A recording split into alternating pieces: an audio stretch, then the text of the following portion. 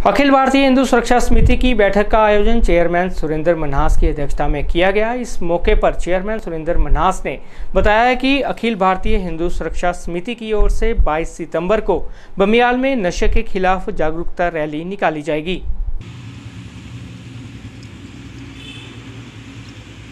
ਵਿਸ਼ੇ ਕੀ ਹੈ ਰੈਲੀ ਹੈ ਉਹਦੇ ਵਿੱਚ ਬੰਦਿਆਲ ਜਿਹੜਾ ਅਸੀਂ ਪ੍ਰੋਗਰਾਮ ਕਰ ਰਹੇ ਹਾਂ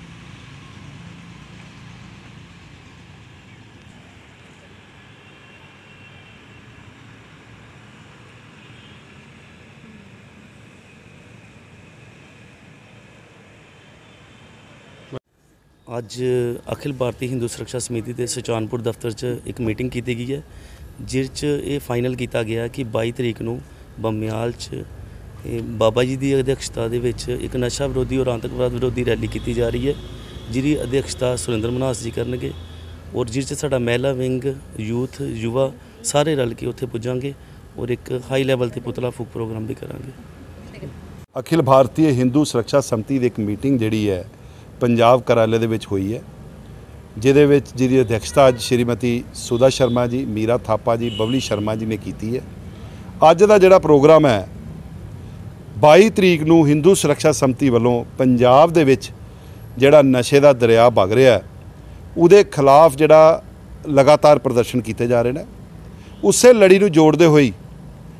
ਉਹਦਾ ਅਗਲਾ ਜਿਹੜਾ ਪ੍ਰੋਗਰਾਮ 22 ਤਰੀਕ ਨੂੰ ਬੰਬਿਆਲ ਚੌਂਕ ਵਿੱਚ ਕੀਤਾ ਜਾਏਗਾ, ਉਹਦੇ ਵਿੱਚ ਉਸ ਪ੍ਰੋਗਰਾਮ ਦੀ ਜਿਹੜੀ ਅਧਿਕਸ਼ਤਾ ਸ਼੍ਰੀ ਮਹਿੰਦਰਪਾਲ ਬਾਬਾ ਜੀ, ਗੁਲਸ਼ਨ ਗਿੰਨੀ ਜੀ, ਓਮਕਾਰ ਸਿੰਘ ਅਤੇ ਗੁਰਜੰਟ ਸਿੰਘ ਕਰਨਗੇ, ਜਿਹਦੇ ਵਿੱਚ ਹਿੰਦੂ ਸੁਰੱਖਿਆ ਸੰਮਤੀ ਦੇ ਪੂਰੇ ਜ਼ਿਲ੍ਹੇ ਦੇ ਕਾਰਜਕਰਤਾ ਔਰ ਵਰਕਰ ਜਿਹੜੇ ਉੱਥੇ ਜਾਣਗੇ ਔਰ ਉੱਥੇ ਜਿਹੜਾ ਆਤੰਕਵਾਦੀ ਔਰ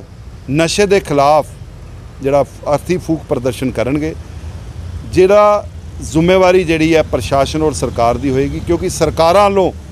ਨਸ਼ੇ ਦੇ ਉੱਪਰ ਨਕੇਲ ਪਾਉਣ ਚ ਕਿਤੇ ਨਾ ਕਿਤੇ ਨਾਕਾਮਯਾਬੀ ਜਿਹੜੀ ਸਾਬਤ ਹੋ ਰਹੀ ਹੈ। ਪੰਜਾਬ ਦੀ ਜਿਹੜੀ ਯੁਵਾ ਪੀੜ੍ਹੀ ਹੈ, ਲਗਾਤਾਰ ਬਰਬਾਦ ਹੋ ਰਹੀ ਹੈ। ਉਸ ਨੂੰ ਰੋਕਣ ਲਈ ਹਿੰਦੂ ਸੁਰੱਖਿਆ ਸੰਮਤੀ ਦਾ ਚਾਹੇ ਉਹ ਮਹਿਲਾ ਸੰਗਠਨ ਹੈ, ਚਾਹੇ ਉਹ ਵਿੱਕੀ ਜੀ ਦਾ ਯੂਥ ਹੈ ਔਰ ਚਾਹੇ ਉਹ ਸੀਨੀਅਰ ਹੈ, ਅਸ਼ਵਨੀ ਸੱਬਰਵਾਲ ਜੀ, ਜਿੰਨੇ ਵੀ ਸਾਰੇ ਲੋਕ ਨੇ, ਉੱਥੇ ਇਕੱਠ ਕਰਕੇ ਸਾਰੇ ਜਾਣਗੇ ਤਾਂ ਕਿ ਜਿਹੜਾ ਨਸ਼ੇ ਦੇ ਸੌਦਾਗਰਾਂ ਨੂੰ ਚੇਤਾਵਨੀ ਹੈ ਹਿੰਦੂ ਸੁਰੱਖਿਆ ਸੰਮਤੀ ਦੀ ਵੀ ਆਪਣੀ ਇਹਨਾਂ ਹਰਕਤਾਂ ਤੋਂ ਬਾਜ਼ ਆਉਣ। ਜੈ ਹਿੰਦ, ਜੈ ਭਾਰਤ।